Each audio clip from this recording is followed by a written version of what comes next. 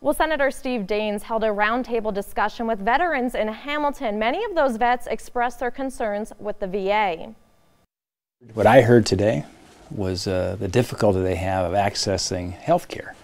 Uh, it's taking far too long. Uh, bureaucratic chains, uh, long drives, uh, oftentimes on icy roads here in Montana. Uh, we can do much better and we must do better. The Community Veterans Center in Ravalli County is run by veterans, a model Daines says should be carried out in the rest of the state.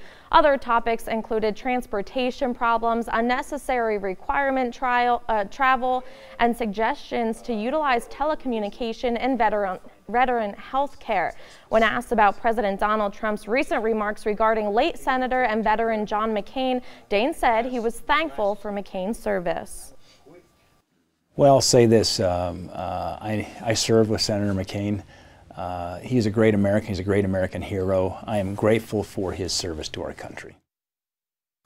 The senator backed the Mission Act will be fully implemented in June and aims to address some of these concerns.